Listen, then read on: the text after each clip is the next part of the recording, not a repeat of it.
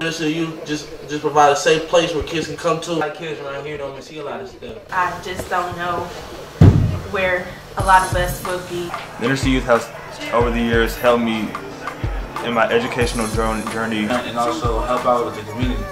Bring kids here, they ain't got nowhere else to go. They provide jobs, they provide food.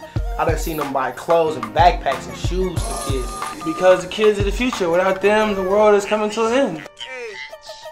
City, you hit me on another page. I had a lot of talent, I just had to get the grades. I've been coming here since I was short with the praise. Brown told me school first is the way to get paid. Now that I know my future, I know that's a better way. Since I lost Kamishima, I'm missing more every day. Every time I left the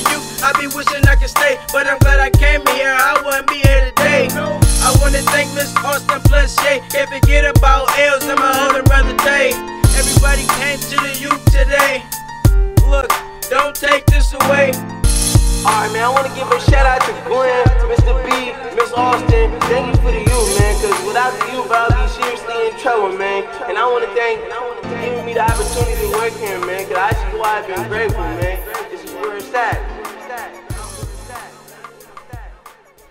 The Inner City Youth is a credit to what I do, which is music. The music production studio can use some extra equipment to make music production more efficient. Without the ICY, a lot of members of our community would be lost into a sense of what they want to do with their own life. ICY has made a big change for a lot of young brothers and sisters' lives since the year 2000 all the way 2011, man. We have made long Innovative youth deployment, man. ICY members, but you know, there's still, still more pushing to see a better life for their life. You know, it's um, a lot of kids in our community is up now going to school now. You know, more focused about the future and stop living in the present. There's no kids really hanging on the corners. Very low crime rate.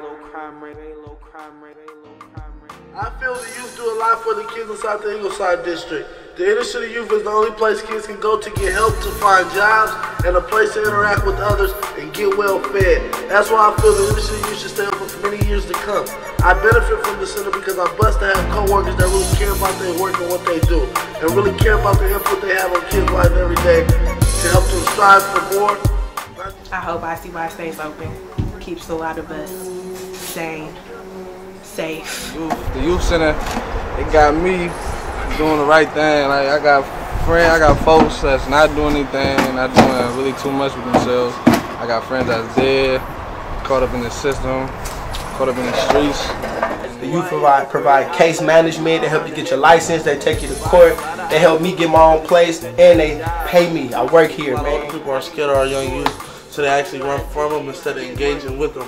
I learned here, man, if we engage with them, we can help them succeed. What I mean by succeed is basically set up a blueprint in life. A blueprint, which means draw a sketch or a game plan and see how you can achieve that within a six month period. Some fail, others succeed, but everyone needs help. So here we just try to give a helping hand and make sure we can see them with that big smile at the end of the day walking across stage. No matter if it's college, high school, middle school, elementary, we want them all.